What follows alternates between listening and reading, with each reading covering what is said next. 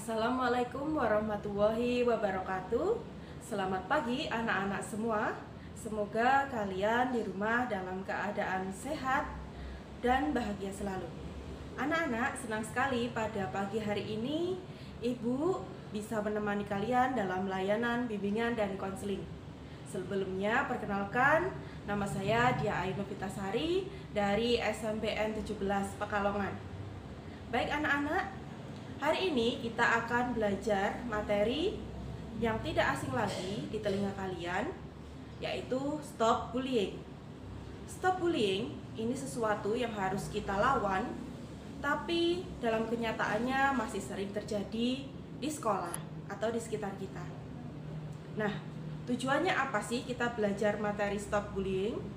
Tujuannya melalui penayangan video peserta didik dapat mendesain perilaku pencegahan bullying yang akan dituangkan melalui poster, puisi, kemudian jingle atau lagu pendek, dan vlog video. Baik anak-anak, langkah-langkah kegiatan hari ini adalah yang pertama menyimak slide dan video. Yang kedua, penugasan. Selanjutnya, apa sih yang akan kita pelajari hari ini? Yang pertama, kita akan belajar tentang pengertian bullying. Yang kedua, jenis-jenis bullying. Yang ketiga, sebab-sebab munculnya perilaku bullying. Yang keempat, dampak negatif bullying bagi orang yang menjadi korban. Yang kelima, cara mencegah perilaku bullying. Dan yang terakhir, cara melawan pelaku bullying. Apakah kalian sudah siap? Kalau sudah siap, mari kita mulai materi hari ini. Apa itu bullying?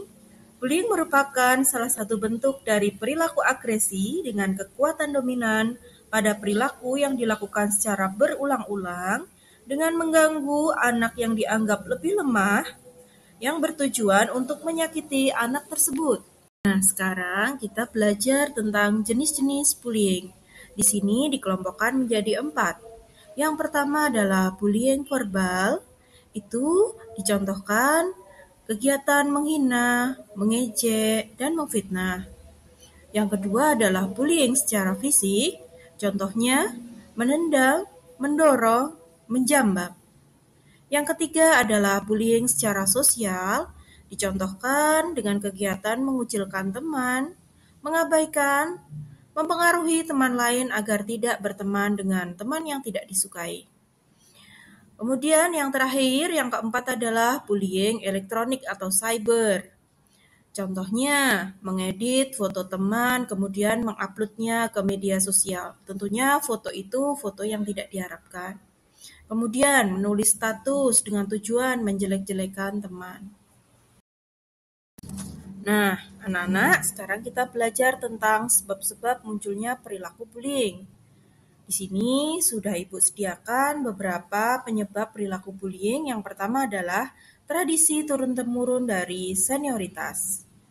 Kemudian, adanya keinginan untuk balas dendam karena dulu pernah mendapat perlakuan bully.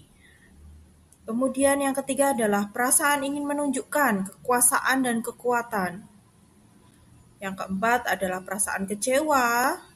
Yang kelima adalah dorongan mendapatkan kepuasan. Dan yang keenam, dianggap menghina atau mengganggu kelompok tertentu. Dampak negatif bullying bagi orang yang menjadi korban. Yang pertama, terganggunya fisik orang tersebut, seperti cedera, terluka, sakit, dan sebagainya. Yang kedua, tertekan psikisnya, ada perasaan takut, cemas, rasa tidak nyaman, resah, sampai ke depresi. Kemudian yang ketiga adalah pergaulan sosial yang terganggu. Memiliki minder, menyendiri, grogi, pendiam, dan tertutup. Dan yang keempat adalah terganggunya prestasi belajar. Nilainya menjadi jelek, tidak konsentrasi belajar, lupa mengerjakan tugas, sampai menurunnya prestasi bahkan. Sekarang waktunya untuk menyimak video. Perhatikan dan amatilah pesan apa yang disampaikan dari video tersebut.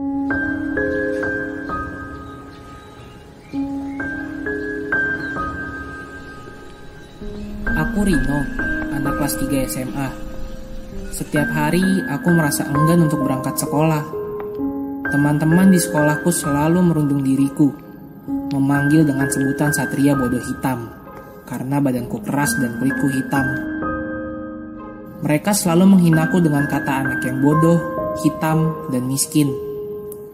Terkadang aku tidak peduli perundungan dari mereka, hanya aku selalu berpikir apa yang salah dariku.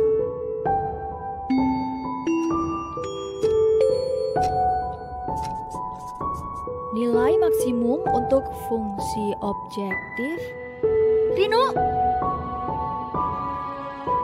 Guruku juga sering menyebut diriku sebagai anak yang malas. Tapi dia tidak tahu kenapa aku bisa jadi seperti ini di sekolah. Aku selalu merasa ketakutan ketika berada di sekolah. Mereka selalu membuat diriku berasa kecil. Emang kenapa kalau aku miskin dan bodoh? hentikan! Rino, pergi ke ruang BK sekarang.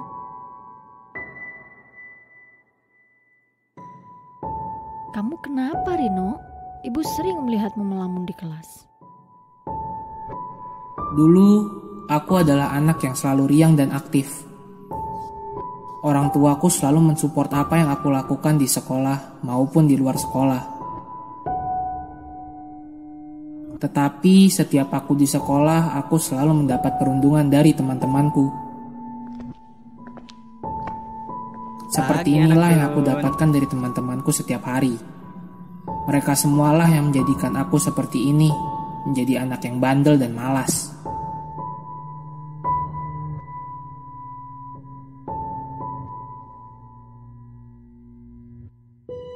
Hei, Rino. Iya bu, tidak ada teman yang ingin bermain denganku. Semua melihatku sebagai anak yang bodoh atau miskin. Sekolah selalu menjadi penjara buat diriku.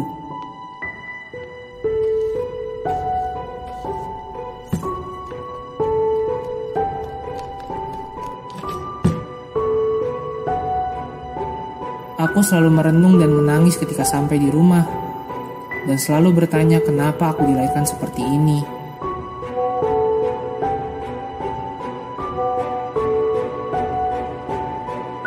Di sosial media pun mereka menghinaku sebagai anak yang tidak mampu. Hidupku sungguh tidak berguna.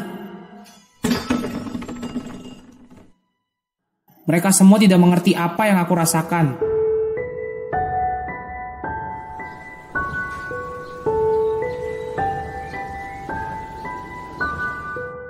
Silakan orang tua Rino. Mohon maaf, hmm, anak ibu tidak naik kelas.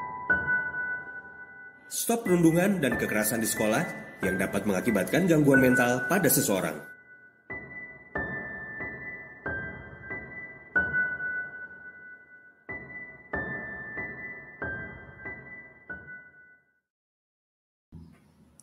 Anak-anak, setelah kalian menyaksikan tayangan video tentang perundungan atau bullying, tentunya kalian sudah memahami pesan apa yang tersirat dari video tersebut.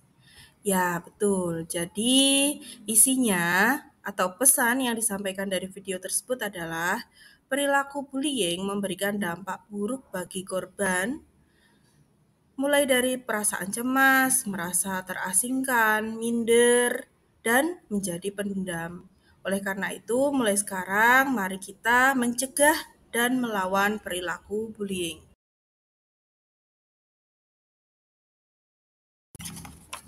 Cara mencegah perilaku bullying.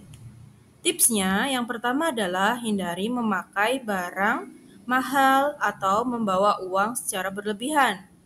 Yang kedua, jangan sendirian terutama di tempat sepi. Tiga, hindari masalah dengan pelaku bullying. Empat, jangan dekat-dekat dengan orang yang suka membuli. Lima, kenali dan perhatikan perilaku bullying. Dan yang terakhir, jangan ikut-ikutan melakukan tindakan bullying dalam bentuk apa pun. Anak-anak, tadi kita sudah belajar tentang cara mencegah perilaku bullying. Sekarang, bagaimana cara melawan pelaku bullying? Ibu dia punya tips. Yang pertama, jadilah orang yang percaya diri. Ya. Yang kedua, bersikap tenang dan jangan mudah emosi. Yang ketiga, tolonglah temanmu yang menjadi korban bullying. Yang keempat, lakukan perlawanan dengan berteriak, lari, atau mencari pertolongan. Yang kelima, catatlah tempat dan orang-orang yang terlibat. Dan yang terakhir, laporkan pada guru. Untuk tindak lanjut dari kegiatan belajar kita hari ini, nanti kalian ada tugas. Tugasnya adalah buatlah cara mencegah bullying dengan menuangkannya dalam bentuk poster atau jingle lagu pendek atau puisi atau berupa vlog video secara berkelompok. Masing-masing kelompok terdiri dari 5 sampai 6 orang dan pengelompokan itu berdasarkan minat ya. Poster, puisi, jingle ataupun vlog video. Baik anak-anak, tiba waktunya kita di penghujung layanan bunga dan konseling. Sebelum Ibu tutup layanan BK pada hari ini, marilah kita simpulkan dulu tentang materi apa, hikmah apa yang diambil dari materi hari ini.